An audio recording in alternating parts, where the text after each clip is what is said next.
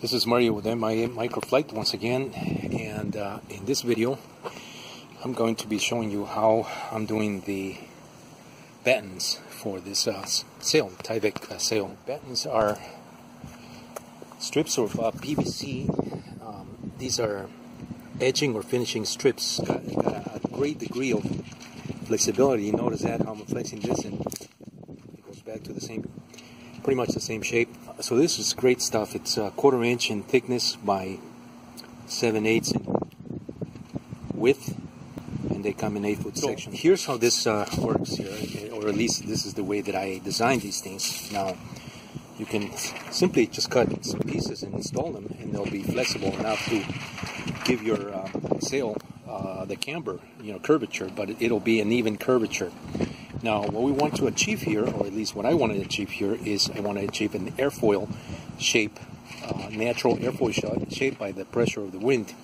And in order to do that, we have to get a little creative here with this material. So, what I'm going to be doing here is I'm going to be cutting two two equal lengths here. This is going to go in this second batten. This is the first batten from the top. Actually, there's a diagonal one that I need to pocket that and put that um, same material here so I'll be cutting a, a section there. But for this one here is a, is a reference or an example. I'm going to be taking two of these pieces here cut. Now I've cut this one, it's about between two and three inches away from the edge here. And this is just to give it a little more room in case I want to tension this against the sail, you know, with a couple elastic straps here. But I don't think I'll be doing that because this will sit pretty nice and snug there. So what I'm going to be doing is taking two of these pieces here and I'm going to be sandwiching them one on top of the other. Now this has a nice uh, bevel on the sides and if you sandwich two of them you get a very nice smooth surface on both top and bottom when you join the two.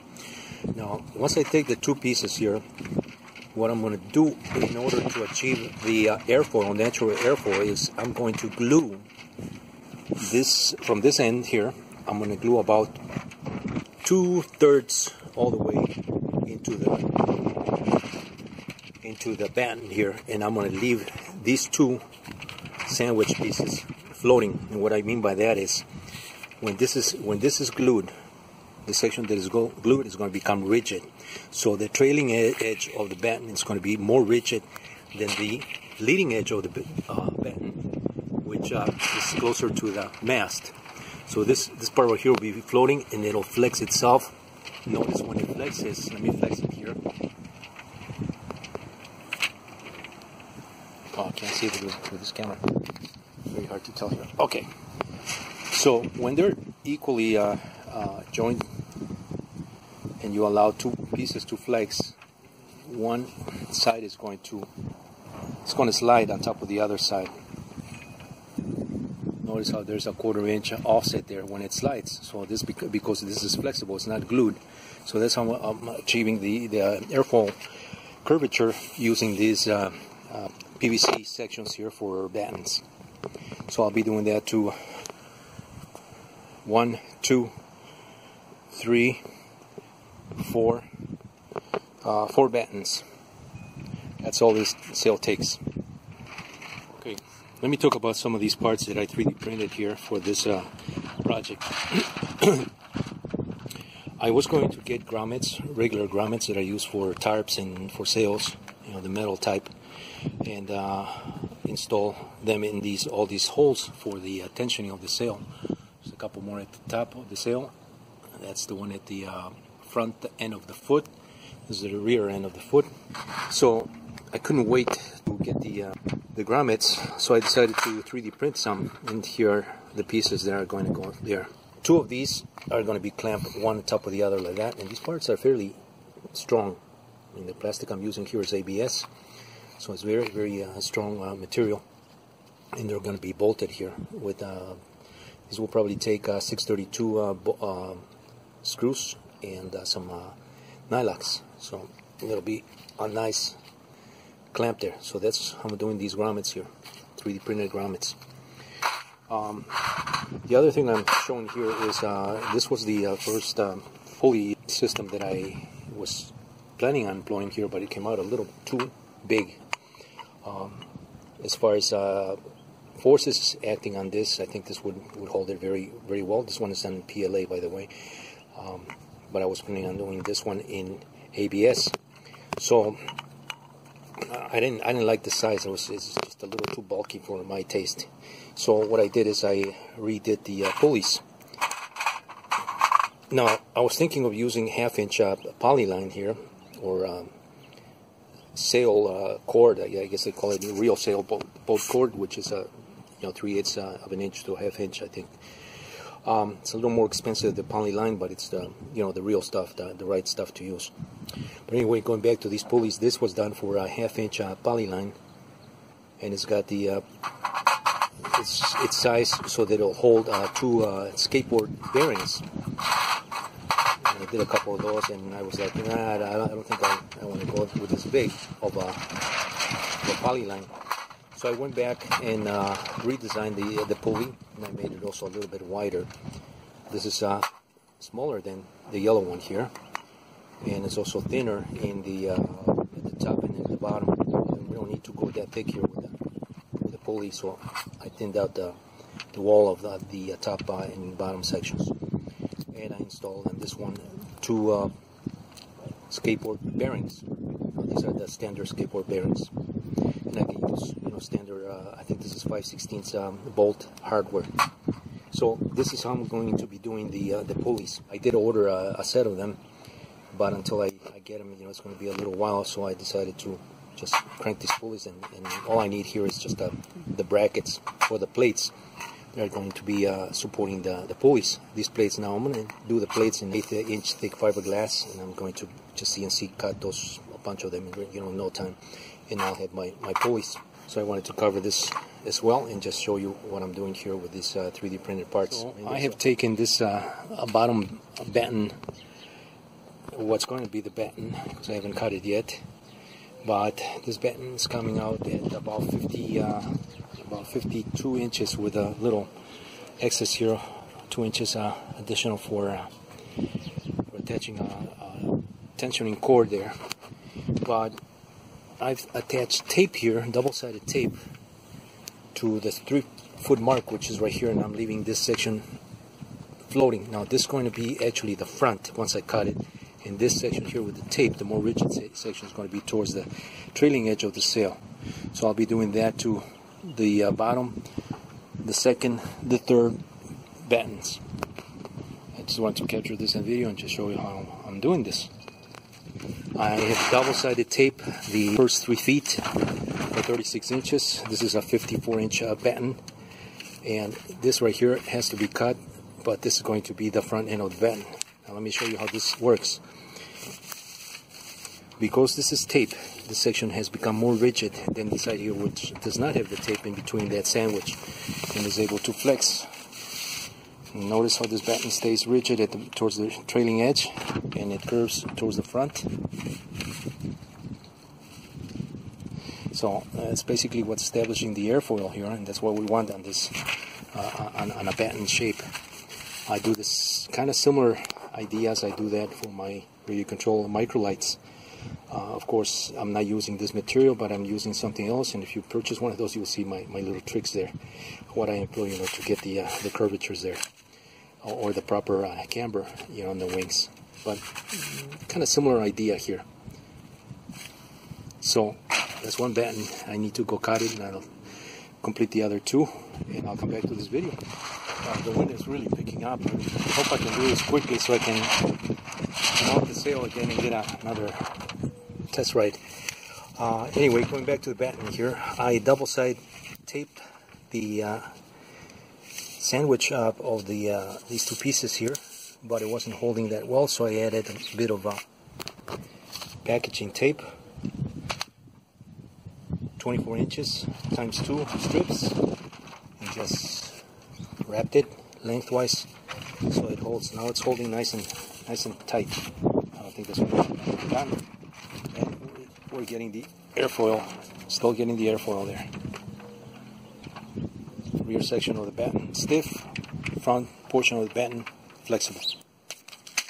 Alright, I'll finish the rest and come back to this video. Here's the sail with the battens, the new battens. It's working very nicely.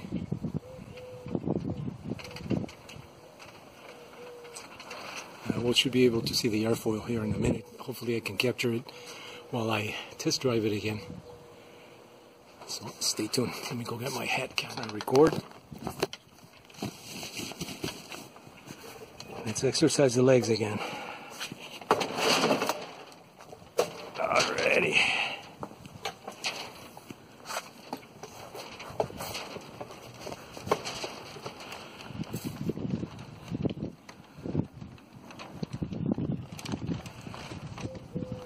The mast is still flexing too much. Yeah, it's because I don't have the reinforcements. And once I get the... Okay, let's look at this side here. Yeah, it's got too much flex. So once I get the mast reinforced double ply, it'll be fine.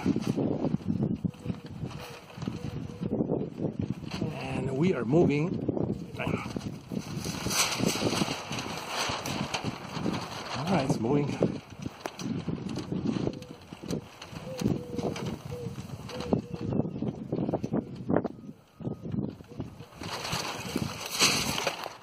This side.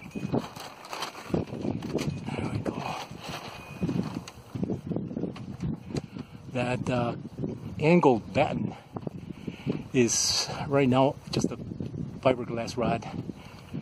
I need to put a pocket there for the PVC type batten that's going to replace that. But I was in a hurry right now to just to get some of this air that we're getting so that I can test this. See how it's forming the airfoil? Just a little bit there. See? Yeah, with a more rigid mast, that airfoil is going to form a little better. Well, that's the purpose of these tests is to find out where we need to uh, refine it. But once this video is done, once this project is done, I think people would have a good idea as to uh, how to go about this. And it's not a hard project as far as making the truck. It's not very easy. They say also it's very easy, and you, and you can use a tarp even. You know, just uh, one of those uh, 10 mil thick tarps uh, make sure your, your mast is uh, doubled up if you're going to use this mast that I'm using here, the pool poles, which by the way, Home Depot does not sell it direct. You have to order that online and they can either ship it to your home or you, they can ship it to the store and you can pick it up. But it is the mast that I'm going to be using because it's the least expensive, most most cost effective way to to go. Sail in my backyard.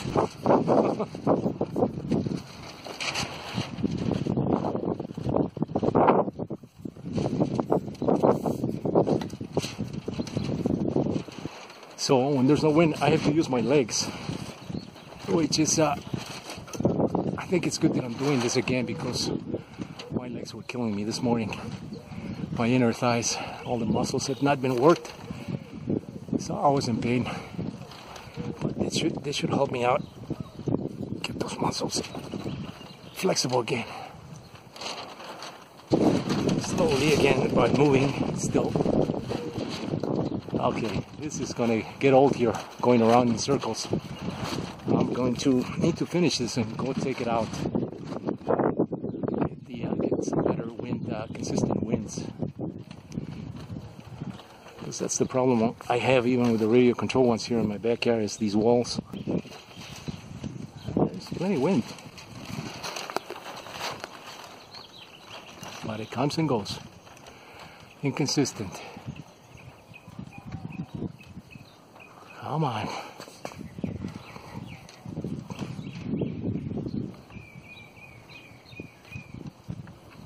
I don't have the grommets here, can you tell? But I heated this hole here. I took a soldering iron and just poke a hole right through it. It's got kind of a self reinforcement there even without the, the grommet here. But once I put the grommets, it'll be a little better here. Yeah, this needs a little more reinforcement on this leaf, just for just to prevent it from wearing out too soon. And it could be a little bit tighter around the mast as well. But it's working. battens. Let's see if I can shape this batten here. Now, once this is tensioned, this batten here should create a, a, a curve right there. And this section here, the, the last two thirds is what's more rigid. This is the part that, that flexes. I could have could have done it with one, just one ply on these uh, ABS pieces, but um, that would have been a little more flexible. And I can still do that, you know, just to experiment with various degrees of wind pressure. That's all it is, you know, just a area, surface area, flexibility, rigidity, and conditions. Make adjustments, you know, to the to the sailing or flying conditions with your wings and tensioning devices and you can have uh, various degrees of performance.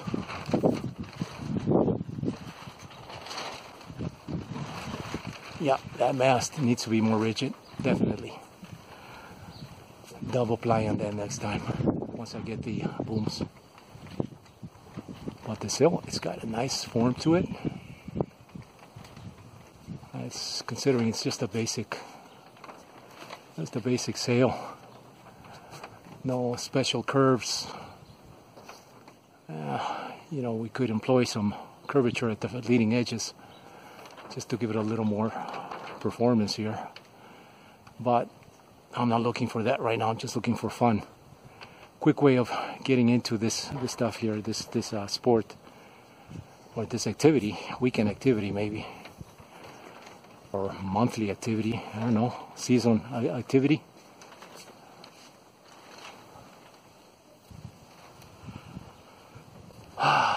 see if I can catch her. That sail from far away.